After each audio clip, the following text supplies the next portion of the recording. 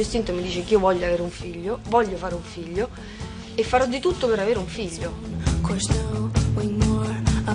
Perché tanti mi dicono, ah ma tu sei una donna lesbica e come tale hai fatto una scelta, e quindi eh, le donne lesbiche per loro natura non, non possono avere figli.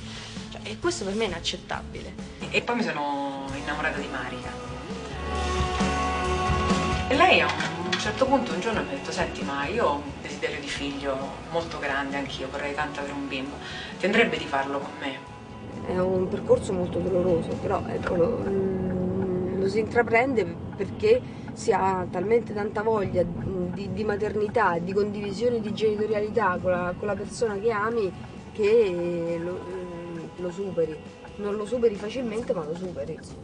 Quindi alla fine è stata un, una grande opportunità, è una grande opportunità. Vada o vada. Noi condividiamo tutto, gioie, dolori, malattie, eh, perdita di lavoro, sofferenze, cioè tutto. Siamo una famiglia e desidereremmo che fosse coronata con un figlio. Secondo me i, i figli delle, delle, coppie gay, anche adottati, nascono sotto perché hanno più difficoltà, hanno un gap maggiore da superare rispetto a Quello che mi tiene su è il grande amore che io ho per Marica e anche per questo progetto del bambino, che non è certo poca cosa, ma esiste. È l'amore, è una parola, è una parola, è l'amore.